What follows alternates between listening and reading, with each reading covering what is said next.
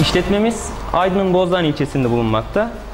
Bu yörenin insanı genellikle toz biber işiyle uğraşır. Ee, bu toz biberler bize gelmeden önce tarlada madran e, suyuyla sulanıp kendi doğal ortamında kurutularak bizim işletmemize gelir.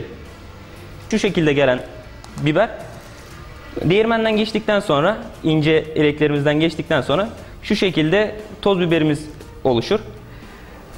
Ee, Bu biberlerimizde kesinlikle hiçbir katkı maddesi bulunmamaktadır. Kendi e, doğal ortamında yetişip doğal ortamında kurutulup bize bu şekilde gelir ve biz de bu şekilde değirmenlerimizden geçirerek toz biber elde ederiz. Bölgemizde toz biberin ünlü olmasının nedeni güneş ışığında kurutulmasıdır. Ee, diğer gibi fabrikasyon e, fabrikalarda kurutularak değil, güneş ışığından yararlanılarak kurutulmuştur. Bu yüzden fabrikada kurutulan biberlere göre daha lezzetli ve aroması daha iyidir. Meşhur olmasının nedeni de bu yüzdendir.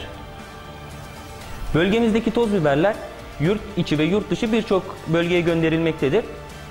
Ee, yurt içinde genellikle Doğu Anadolu ve Güneydoğu Anadolu bölgesini göndermekteyiz. Çünkü o taraflarda sucuk, pastırma yapımında kullanılmaktadır bu e, toz biberler. Ayrıca bütün Türkiye'de de yemek yapımında kullanılmaktadır.